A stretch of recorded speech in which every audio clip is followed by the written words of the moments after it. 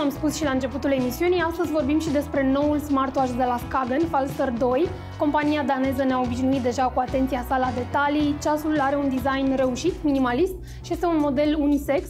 Teoretic este potrivit atât doamnelor cât și domnilor, dar din punctul meu de vedere este mai mult pe placul nostru, al tinerelor doamne, să spunem. Designul nu este foarte diferit de cel al modelului precedent, are aceeași închidere magnetică cu care am avut ceva probleme până m-am obișnuit, dar la capitolul specificații ceasul este cu mult îmbunătățit, are un senzor care îți monitorizează pulsul, ritmul cardiac, este rezistent la apă și are și GPS, așa că este foarte potrivit pentru monitorizarea activităților sportive, mai ales că acum poate fi folosit și în apă. Smartwatch-ul funcționează cu cea mai nouă versiune Wear OS, un sistem pe care toată lumea laudă, iar acum am înțeles și de ce.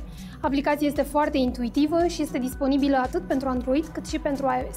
Este ceasul ideal pentru cei care sunt mereu pe fugă și vor să fie la curent cu toate notificările de pe smartphone.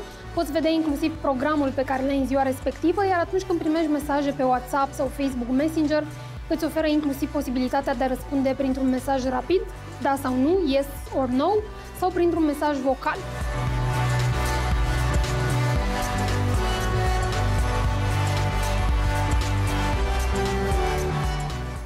Emisiunea începe la 11.30. Te poți folosi inclusiv de Google Translate, o funcționalitate extrem de utilă, mai ales dacă ești în vacanță și încerci să te înțelegi cu un străin. Asta mi-a plăcut foarte tare. Ce nu mi-a plăcut este că nu ai acces direct la WhatsApp, Facebook Messenger sau alte aplicații de genul acesta. Poți primi și răspunde la mesaje, dar nu poți iniția conversații. Ce ai voie să faci în schimb este să inițiezi apeluri audio și să controlezi aplicația Spotify. Poți să deschizi un nou playlist, să dai pauză sau să oprești muzica. Totul printr-un singur click. Mare grijă însă cum îl folosești pentru că bateria nu rezistă mai mult de două zile și cu cât abuzezi mai mult de aplicațiile de pe smartwatch, cu atât ești nevoit să-l pui mai des la încărcat.